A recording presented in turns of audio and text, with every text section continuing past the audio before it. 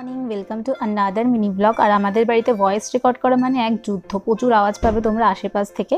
তো যাই হোক সকালবেলা ঘুম থেকে উঠে প্রত্যেক দিনের মতো জলটা খেয়ে এক কাপ গ্রিন টি বানিয়ে নিলাম। সেটা খেলাম আর কিছুই খাইনি আজকে। স্নান করে নিয়ে হনুমান চল্লিশা পরে বজরংবলীকে পুজো দিলাম। লাড্ডু আর কলা দিয়ে প্রত্যেক মঙ্গলবারই বজরংবলী পুজো করি আমি। তারপর প্রথমে প্রসাদটা খেলাম তারপর লাঞ্চ নিয়ে বসলাম। আজকে সিম আলুর তরকারি উচ্ছে কুমড়ো ভাজা আর ভাত খেলাম আর ঘি।